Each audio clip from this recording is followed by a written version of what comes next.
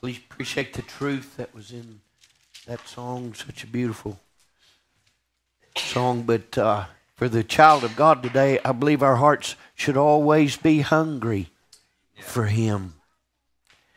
And I believe that's what the psalmist was trying to say in uh, this particular section. Psalms 119, we're going to continue tonight in verse number 33 through verse number 40.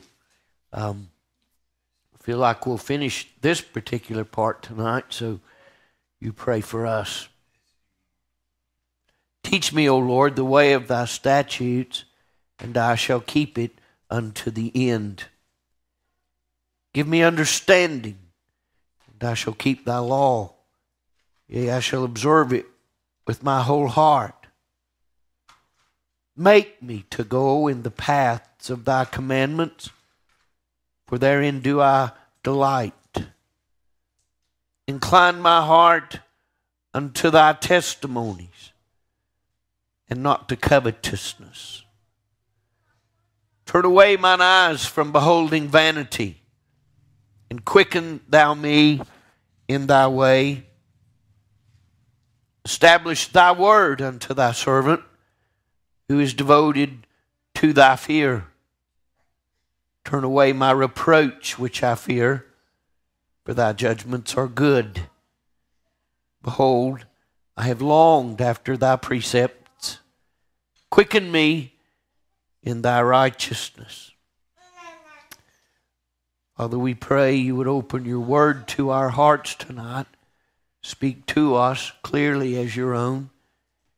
We hear your voice and we hunger for this truth. We pray for it.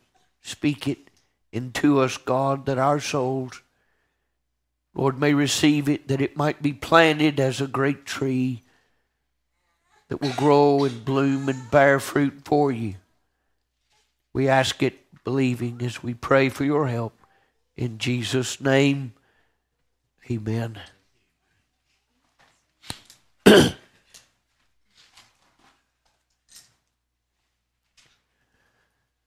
The first part of this we've already preached, and I'll try to be careful not to get back in that, even though my soul is drawn to that truth concerning the need for God to arrest my mind, teaching me and giving me understanding, but then also moving upon my will to help me go the ways that He would have me to go and to do the things that He would have me to do with a spirit within me to do it. But in verse number 37, He changes gears again. A similar request as the song was sung, our hearts always hunger for. I believe we see into the psalmist here another desire. And he says simply, Turn away mine eyes from beholding vanity. As I thought about what he said already concerning the mind and the will, I think now he speaks directly to those actions of the flesh. A lot of the things we do scripturally, we learn that we do because our heart desires it. A lot of the things the flesh does is simply minding what we tell it to do. And whether or not we bring the flesh under subjection is always the greatest question. And yet we find here the psalmist praying and asking God to turn away his eyes from the things of this world that are quite clearly here meaningless vanities. I want to read for context what Solomon wrote about the same subject in Ecclesiastes 2, verse 9 he said, So I was great and increased more than all that were before me in Jerusalem.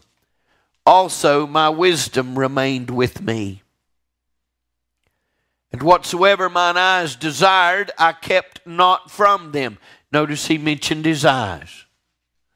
Whatever my eyes desired, I kept not from them. I withheld not my heart from any joy, for my heart rejoiced in all my labor, and this was my portion of all my labor. Then I looked on all the works that my hands had wrought, and on the labor that I had labored to do, and behold, all was vanity and vexation of spirit, and there was no profit under the sun. We know Solomon, obviously, God had made to be the wisest of all, and had certainly from that wisdom blessed him beyond measure. And we find here Solomon admitting that he kept whatever his eyes saw and wanted, he took it, he bought it, he got it. Whatever pleasure he wanted, he experienced. Whatever he wanted to do, he did it. And in the end, what Solomon said was, is that all was meaningless. The word vanity, you'll find in the Hebrew text here, means nothingness or emptiness or meaningless. And what David was saying was, God, I want you to turn my eyes away from the things of this world. And let me try to categorize for us the things of this world. We often are enamored by those things that shine and those things that the world has given value. But may I say to you, in the end, they are meaningless. We will not stand before God and offer some accolade of this life as some merit to His favor if we have rejected His Son. You know why? Because everything of this world is going to melt away.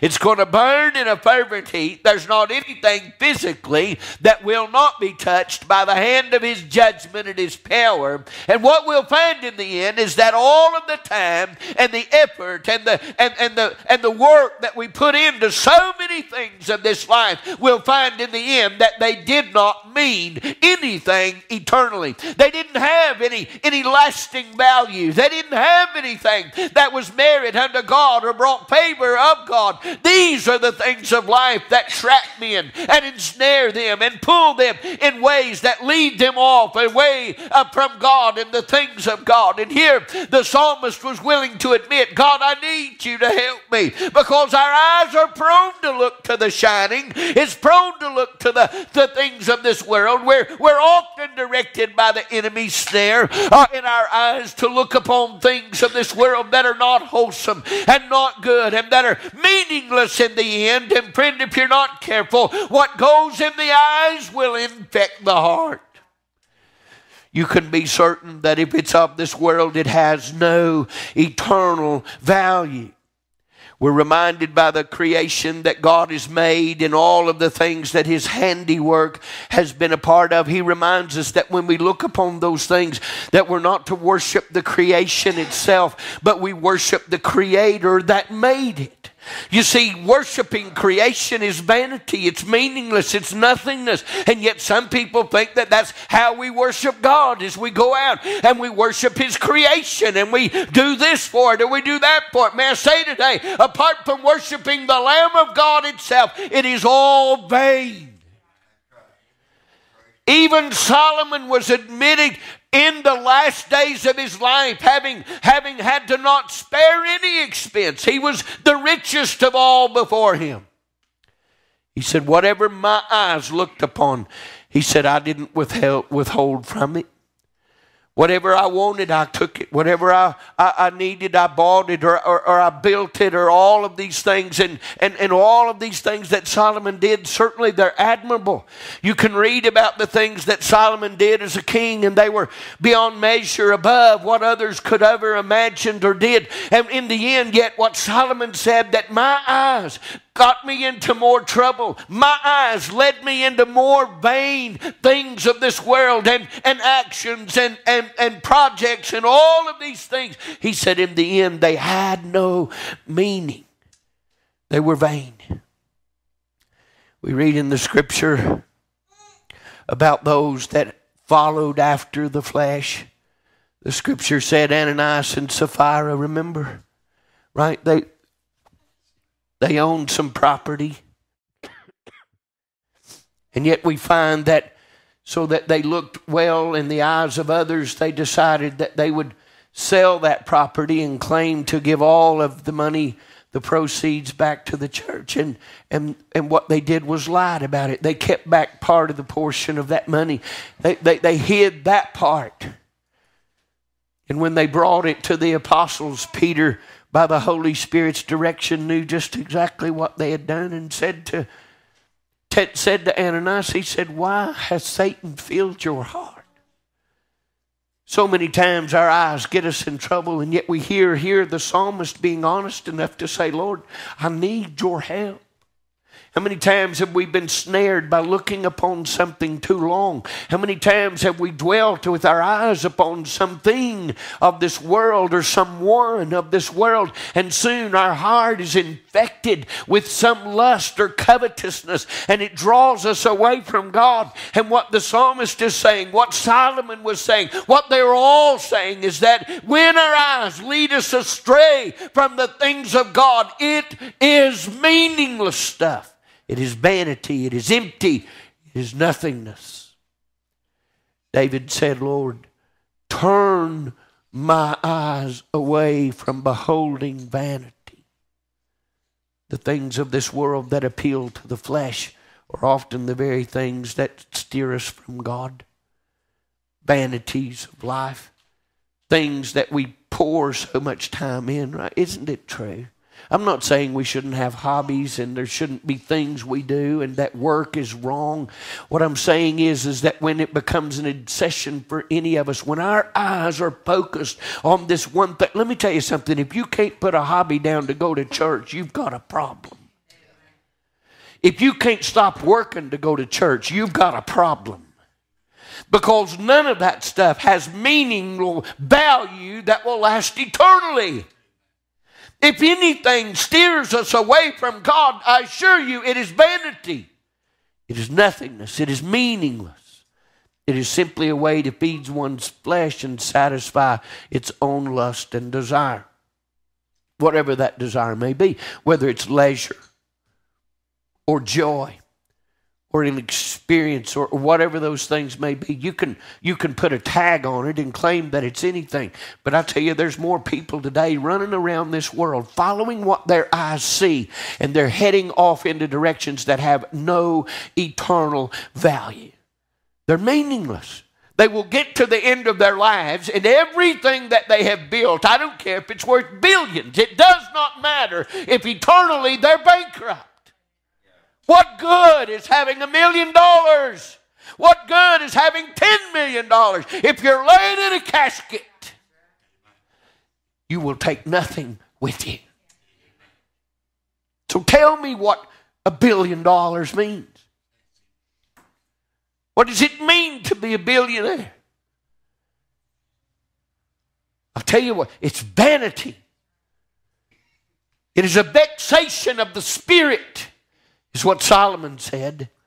It was the snare that pulled him down. It was the very thing that, that caused him to bring in uh, hundreds of women into his own harem. It was a snare that caused him to uh, relinquish and to bow unto other gods from these wives. It was a snare. It was vanity, and he declared it so. What about you? What is it that we chase more than God? There's people right now that are doing other things. They're not here, right? I, I, get it. Some can't be here, but there's plenty that could be here. And they're not. You know why? Because there was something more important than God. If your eyes are on anything that leads you away from God, I'll assure you it is empty. It is nothingness, it is vanity, it is meaningless exercise of the flesh, and it will not bring any eternal value. I wonder why the flesh is so bent on doing its own thing, and yet the scripture teaches us that it's enmity to, enmity to God. Our flesh despises the things of God. I don't, you don't have to tell me, right? I'm just as human as the next person. Do I get tired? Yes. Do I feel bad? Yes. Are there things that I'd like to do? Yes. But you know what? if there's anything that gets in front of God, one thing that I've learned is the better thing to do is to cut it off from you. Just turn away from it. Lord, help me, he said. Turn my eyes from the vanity of this world that my eyes behold, those things that see that lead me astray. Did he know what he was talking about? Yeah, did he not from a balcony look down upon a woman bathing? Was it not his eyes that were infecting his heart because he looked and lusted after? But did he not know what he was talking about? We best take note. Here's a man that did fall. Here's a man that did allow his eyes to infect his heart, allowed the lust of his own heart to follow the vanity of the flesh, commit adultery with Bathsheba to lie, then murder to cover up his indiscretion. Oh, how quickly we get off track when our eyes behold vanities.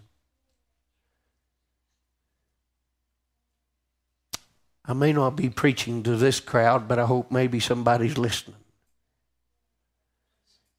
If there's anything that keeps you from God, you need to get rid of it. You need to be honest enough, as the psalmist was, is to say, Lord, I need you to help me in my mind. I need you to help me in my will. And he said, I'm going to go as far as to say, I want you to turn my eyes away from beholding vanity. People are snared all the time. And uh, I, I, was trying to think of the words of that old country song today, but it, it, it, it went somewhat something along these lines that not everything that shines is gold, and not everything that glitters is diamonds.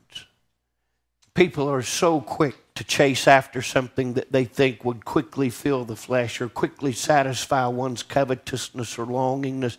May I say to you today, it's just vanity. It's just vanity. Turn away mine eyes from beholding vanity. And then he said, And quicken thou me.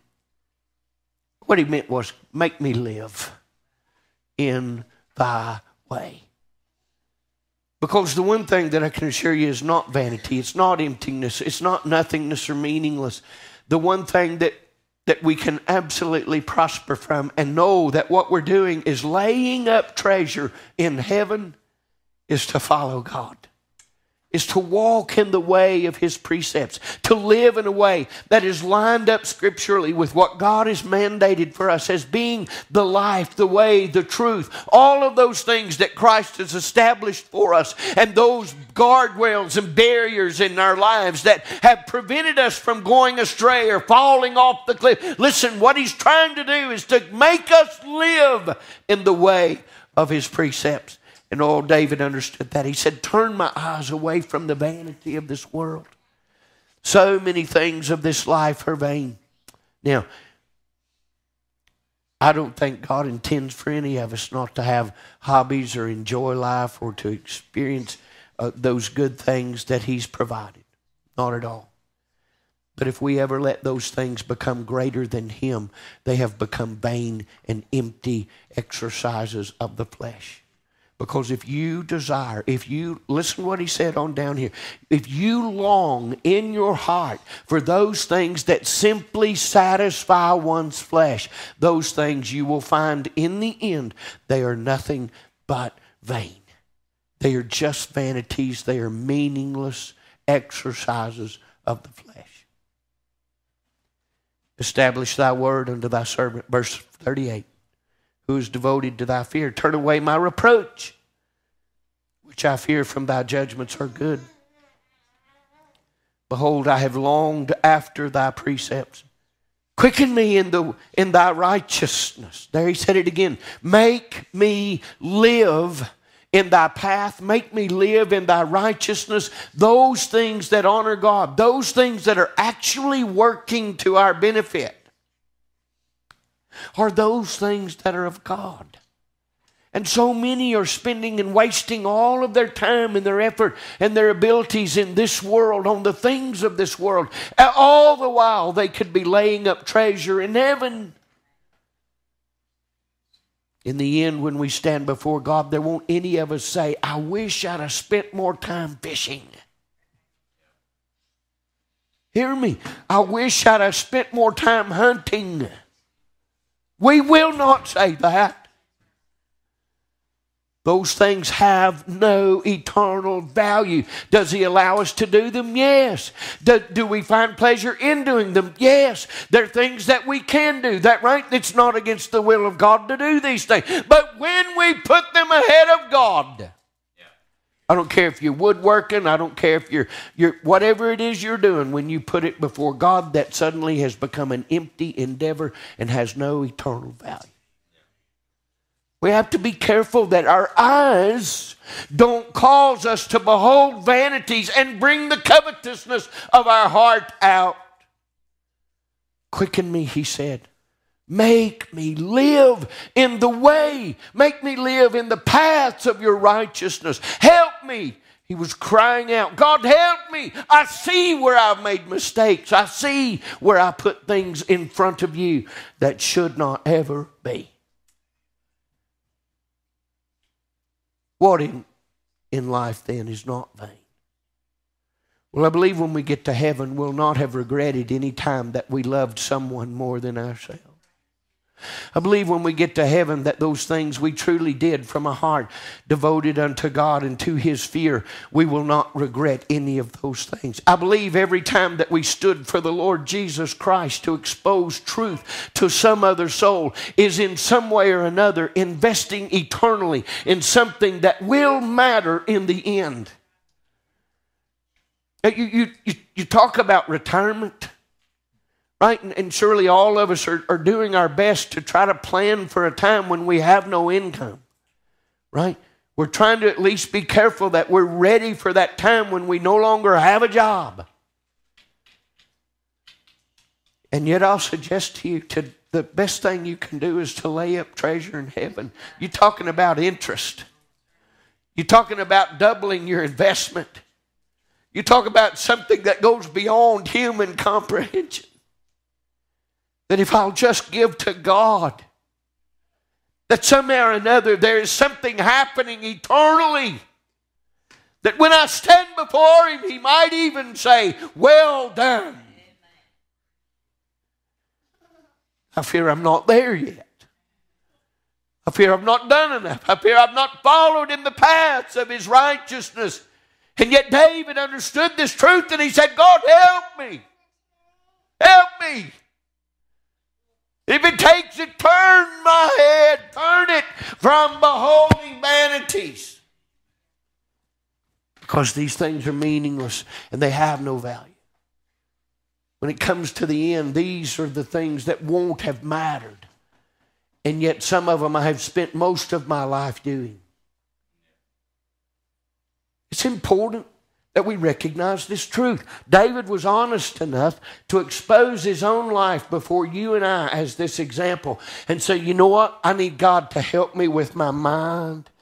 Right? I need him to teach me and to give me understanding. I need him to help me with my will. He said, Make me do this and incline my heart for that. He said, But I also need God just to help me every day to not devote more time to things that are meaningless Oh, God, have mercy on us. I got to say it again. How much TV do we watch versus reading the Word of God? You're talking about vain activity. Listen to me. the flesh is prone to that. And you know what draws it? These two things right here. They good at catching these two things right here. And before you know it, you've sat and indulged in hours of entertainment that are absolutely meaningless. Amen? Let's tell the truth. Amen. We all done it. David said, God, help me. Now, he's no different than we are. God, help me, he said. turn my eyes from the vanity of this world, the meaningless endeavors, the things that I do that do not matter. God help me. So, what does matter? Let me see if I can just close with this thought. In, in 1 Corinthians chapter number 15, the Apostle Paul said it like this. He said, he said, Be therefore steadfast, unmovable, always abounding in what? The work of the Lord. For as much as you know that your labor is not in vain. Wait. Say that again then. Be therefore steadfast, for God. What's that mean? It's mean my, my head don't turn for the world. God help me, my head don't turn that everything that glitters that goes by. We used to make a joke about a fellow that I worked with. He was so easily distracted. I mean, we'd even be in meetings and then he'd chase off after something. We was all wondering what, what in the world was he talking about? And we finally just was following that cartoon. You know, we say squirrel. you know, because everything he saw, he just it was he couldn't. We're that way. Spiritually, we're often that way. When the devil just bark and and, and, and shout and flash something glittery or and, and our, when we quickly turn and we look and our eyes behold it. And instead of allowing ourselves that, that very discipline David was asking for, we, we begin to follow the vanity of, the, of our eyes. We begin to follow that lust of our heart, the covetousness of our heart. So he said, Be therefore steadfast, unmovable. Unmovable, right? Not chasing everything in this world, but fixated in the mind and, and, and keeping your eyes on Jesus. Keeping your eyes on Him. Let us be therefore steadfast, unmovable, always abounding, abounding in the work of the Lord, for as much as we know that our labor is not in vain. What we do for God is not meaningless, it is not nothingness. It is not empty what we do for God, even though I can't even see the effects of it sometimes. I don't even know if it's helping. I don't even know if it's if, if we need to turn our eyes away from this world and fix it on those things that we know have eternal value and let God settle the account later. Because I can assure you, there's a reckoning coming. And He's going to judge me one day. And according to 1 Corinthians chapter number 3, and I'll close with this. He's going to try every work of my life, whether it was good or evil. He will try it, He will check it. He will find the source, the motivation of everything that I have ever done. He will judge me of every single thing. And according to 1 Corinthians chapter number 3, the eyes of his the flame of his fire in his eyes will judge every work of every man. And if it is of wood, hay, and stubble, you know what will happen? It's burnt, and the only thing that is left is ashes. And you know what you do with ashes? They are meaningless. They are empty, they have no value. And all that stuff you chased of this world, all that time that you put into the things of this world that your eyes led you to do, and the covetousness and the lust of your heart, and the desire for pleasure or leisure or whatever it is, all of those things will burn and amount to nothing when we get to heaven. But he said, Those things that his eyes try that are gold and silver and precious stones. You see, when you apply fire to any of those things, it just makes them more pure. When he looks at those, those are the things that will still be there. Those are the things that were done for God. Those are the things that we did not for ourselves, but for someone else in the glory of Him. They weren't vanity, they weren't meaningless. No, they're in heaven they're the treasures that have been laid up. They'll be there. If we've done them, they'll be there. And they'll be a part of that judgment.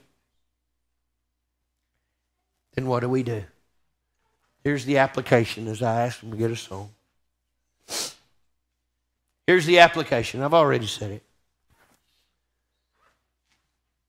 David said it like this He said, Lord, just, I need you to help me with this.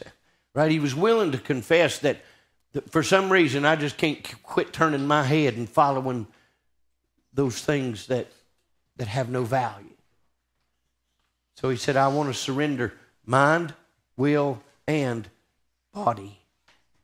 And he said, I want you to help me. I want you to focus my eyes on the things that are of you. Quicken me. Make me live in this way. Make me live in the path of your righteousness. And he was honest enough to say that, God, I need you to help me with that. I just can't do it by myself. And so what do we do? The application is simple. We know the truth. We're not ignorant to this. We know what he said to do and what he said not to do. What we need is to be steadfast in this, unmovable, right?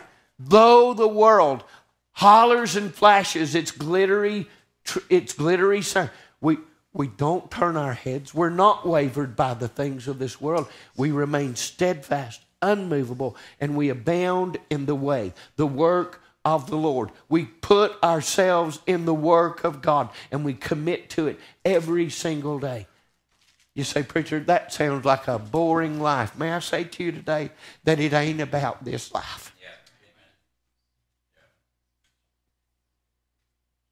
Treasures here I may never have. There's plenty that would look upon me and think me quite poor. But I'll assure you, I am not. My treasure is there.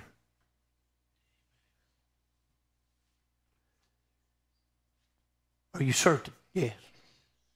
I'm absolutely certain. If I have anything when I die, Jeff, somebody else will get it.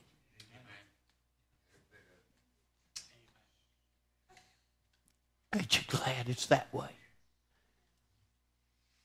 Job said, I came naked into this world and I'll leave the same way. I brought nothing in, I will take nothing out.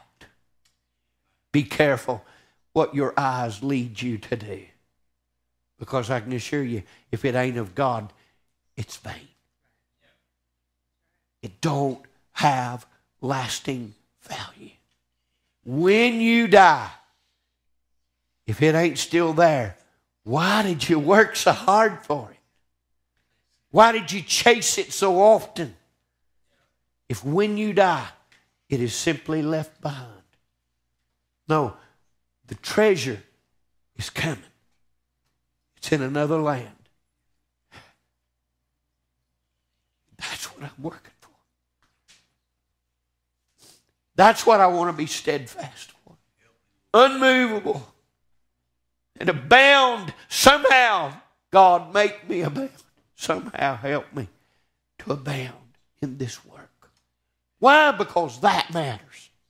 That has lasting value. That is laid up in heaven. One day, oh, it'll be worth more than anything this world could have ever offered. Ever.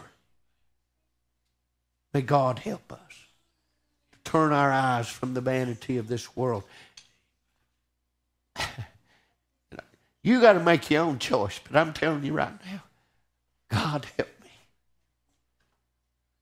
Hold my head fast till the only thing I see is you. For the sake of an eternal future, but also for the sake of everyone in my life. Because if I can't live it, I shouldn't expect you to. Turn my head, God, and help me. What a prayer. What a what power in those eight verses he shared with us. A prayer that it, that surrenders our mind to God. It surrenders our will to God, and then it surrenders our body to God.